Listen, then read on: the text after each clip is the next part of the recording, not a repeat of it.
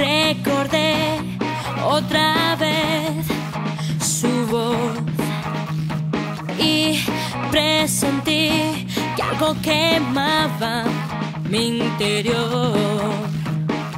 Ya sé que el tiempo siempre impone su ley, pero estoy cansada de esperar.